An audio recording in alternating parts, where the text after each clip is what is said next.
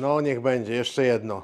Wiem o tym, że część z Was wie o tym, pamięta, że mam czujnik zegarowy, bo coś tam sobie czasami dziubię na tokarce.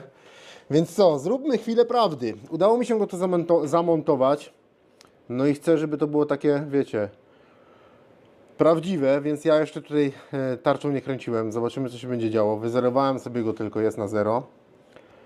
Tylko wiecie, przypominam, to nie są tarcze z najwyższej półki, tylko jakieś takie mocne średniaki. Ale sprawdźmy.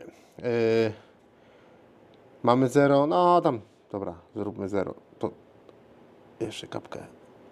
Teraz już mamy naprawdę 0, 0. I teraz uwaga. Dwie.